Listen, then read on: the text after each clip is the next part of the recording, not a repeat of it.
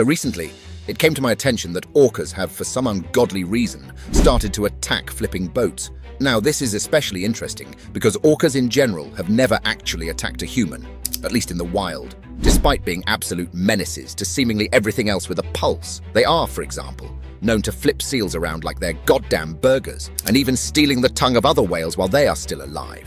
And that's not even a fraction of all the other war crimes they commit on a daily basis. But when it comes to humans, it's almost as if they know just how revengeful we can be, so they have always just let us do our own thing. In fact, orcas have even historically helped us hunt whales and even guided lost fishermen back to shore during stormy seas.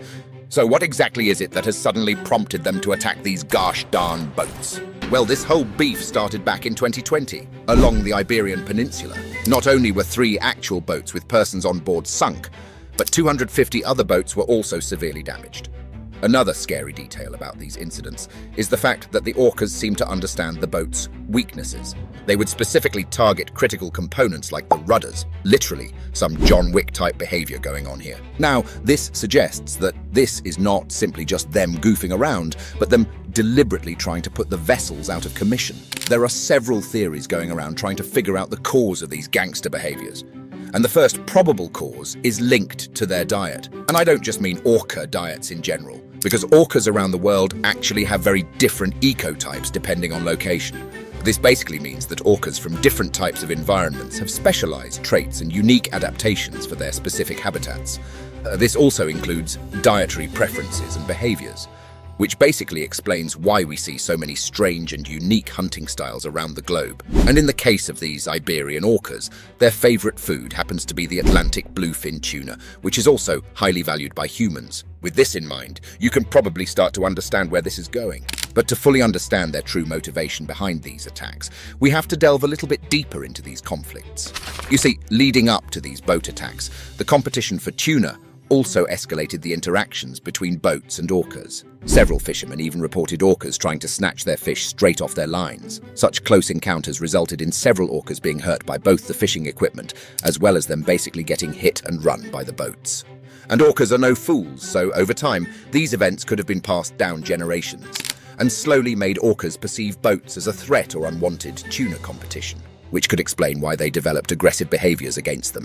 With all this in mind, we can now look into the leading theory going around. The theory basically suggests that one or a few orcas got extremely salty after getting slapped around by these fishing boats on a daily, and basically started to teach other orcas in the area to attack boats as a form of revenge. This would in turn create an evil circle, where every orca eventually would adapt this distaste against boats, making attacks more and more frequent, as well as better executed.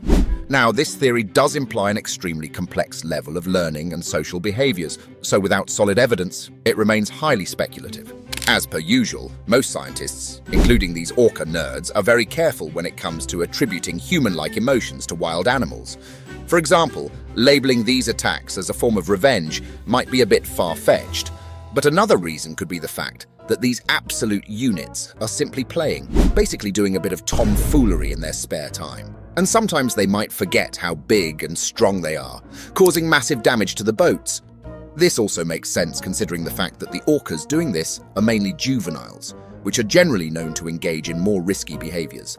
But whether it is them just playing around, or actually calculated attacks driven by revenge, it's all the same for the locals who are actually having their boats sunken or badly damaged. But please do let me know down in the comments what you think is the driving force behind these attacks.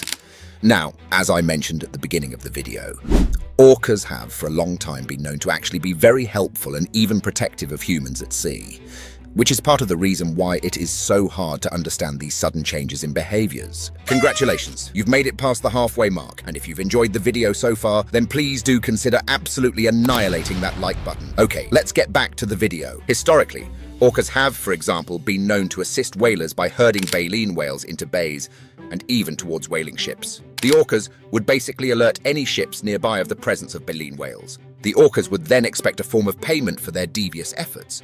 They would usually get stuff like the whale's tongues and even lips, basically anything the whalers did not want. Just imagine being these baleen whales, finally thinking that they have gotten on the good side of the orcas and about to hang with them in the bay only to get absolutely backstabbed when humans show up, blasting them with all sorts of life-cancelling harpoons. Orcas have also been reported to help lost fishermen to shore during harsh weather, and even keeping other predators like sharks at bay. Orcas have actually never hurt a human being at sea, although when it comes to captive orcas, it's a whole different story, which I will probably get into in another video. But either way, this shows that orcas and humans do have some sort of special relationship, as orcas pretty much eat and mess up everything else with a pulse, except humans, which surely can't be random. So these boat attacks really do seem to be very special cases indeed. But for now, the best explanation we have is just speculation. Anyways, let's move over to bigger and more important questions. So could orcas really survive during dinosaur times? And more specifically, the Cretaceous period, which was a time when the ocean was filled with Leviathan-grade life forms literally designed to trigger your thalassophobia. For example, the Mosasaurus, Tylosaurus, Liopleurodon, and that's just a few of the many other ungodly monsters the orcas would have had to subdue.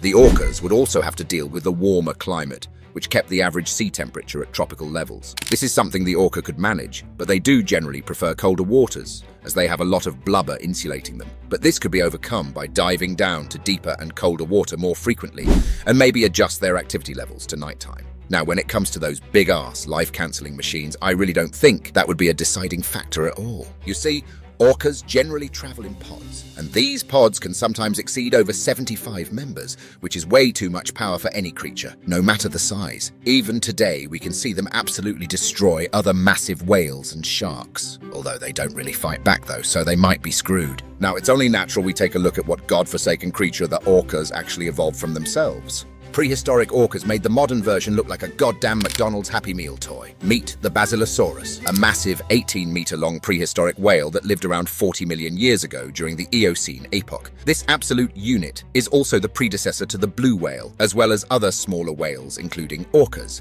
So the version we have today is basically the family-friendly edition. The Basilosaurus had an elongated body with relatively small flippers and a fairly long tail. It also had very sharp and conical-shaped teeth, perfectly adapted for hunting fish and smaller mammals. But unlike orcas, they are not thought to have run in pods or possess the same complex social structures that orcas have today. But with that size, it was probably not needed. Another cool fact is that the name Basilosaurus literally means king lizard. It was basically the real-life version of Godzilla, and thank God the whole whale lineage in general decided to opt out of those massive teeth and focus more on krill consumption instead. Just imagine having blue whales swimming around with swords as teeth. The ocean would be completely off limits at that point. Anyways, that's the end of the video. If you enjoyed it, then maybe watch some of my other videos on screen, and I will see you in the next one.